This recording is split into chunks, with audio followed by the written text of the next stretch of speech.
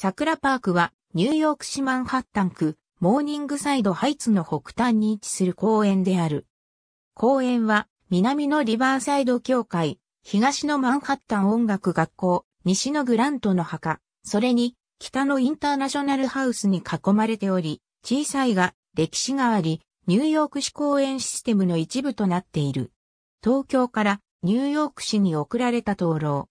背景には、ニューヨークインターナショナルハウスがある公園はもともと、クレアモントパークと呼ばれていたが、ニューヨーク日本人居住者委員会が1912年に2500本の桜を市に寄贈した後、改名された。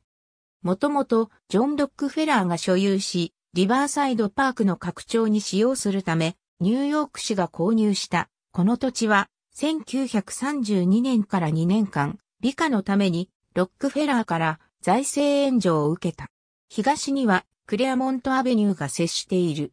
この道は高さが低く、公園が拡張された時、控え壁、擁壁が作られた。1960年、ニューヨークが東京の姉妹都市となった時、東京から灯籠が贈り物として寄贈された。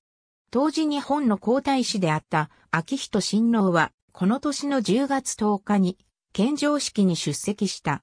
秋人親王は、皇太子妃と共に、1987年に灯籠を再び寄贈した。公演には彫刻を委任した委員会により要求されたものが変わり、悩まされたというガットスン・ボーグラムによるダニエル・バターフィールド像がある。